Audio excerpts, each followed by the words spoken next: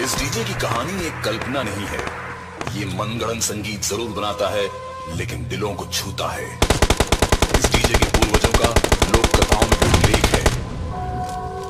इसका संगीत सुनकर भूत प्रेत चुड़ैल और काला जादू जैसी नापाक शक्तियाँ थर थर कांपने लगती है।